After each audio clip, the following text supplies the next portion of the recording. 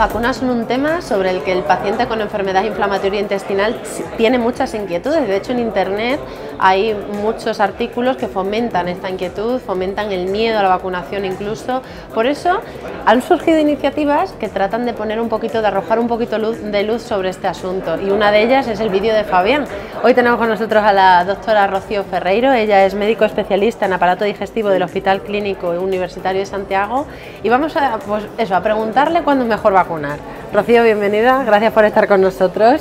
Bueno, el vídeo de Fabián, qué iniciativa más bonita, ¿no? Sí, yo creo que la verdad es una iniciativa muy bonita y también muy demandada por los pacientes, ¿no? porque todos nos preguntan en la consulta muchas dudas, a veces no la primera vez, sino posteriormente, entonces el vídeo es una forma de resolver la mayor parte de, todas de las inquietudes, de las dudas y si tienen luego cualquier otra, por supuesto nos comentan, ¿no? pero el vídeo es maravilloso porque la mayor parte están recogidas ahí, yo creo que además queda muy claro pues cómo solucionarlas. ¿Dónde se puede ver ese vídeo? Ese vídeo se puede ver en la página de G-Educa, ¿no? Y entonces va a haber varios vídeos. Este es el vídeo de vacunas, pero recomiendo, bueno, ya que estoy aquí, todos los vídeos que hay, de momento dos vacunas y anemia, y entonces os recomiendo que entréis en la página de G-Educa. Perfecto. Entonces, una de las inquietudes principales de, los, de estos pacientes es cuándo hay que vacunar. ¿Qué nos puedes decir al respecto?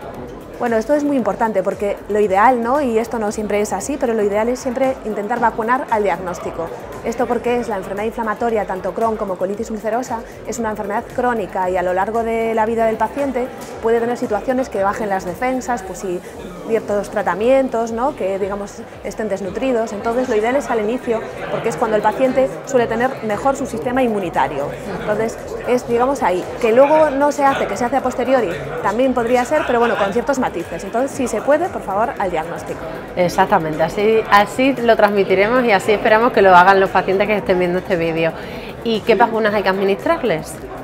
Bueno, claro, las vacunas, digamos, hay muchas vacunas que se pueden administrar, se dividen sobre todo en dos tipos, unas que son vacunas de microorganismos vivos y otras es vacunas de microorganismos eh, eh, que están muertos, ¿no? Entonces, por ejemplo, un paciente al diagnóstico, si no tiene las defensas bajas, si no tiene estos tratamientos que disminuyen las defensas, podrían administrar ambas. Por eso es lo ideal. Si el paciente ya está con las defensas bajas, está inmunosuprimido, pues entonces solo podrían administrar vacunas con virus, bueno, con virus o con microorganismos muertos, porque si no sí que ahí habría peligro ¿no? al administrar las vacunas. Sé que uno de los eh, temas que más surgen en consulta es si las vacunas causan o no, provocan o no enfermedades. Yo creo que es uno de los mitos más extendidos. ¿Qué podemos decir al respecto, doctora? Bueno, yo creo que es una pregunta está muy interesante porque además nos lo hacen mucho en la, consulta y yo creo que hay una idea totalmente equivocada, ¿no? y es que las vacunas no producen enfermedades, sino que las vacunas previenen enfermedades. Es cierto que no tienen por qué ser 100% efectivas y hay personas que se vacunan y aún así pueden tener la enfermedad, pero con muchos menos síntomas. Entonces, no es cierto esto de que, ah, pues me he vacunado y por eso tengo la enfermedad. No, probablemente la ibas a tener igual, pero digamos, lo bueno es que al haberte vacunado vas a tener menos síntomas.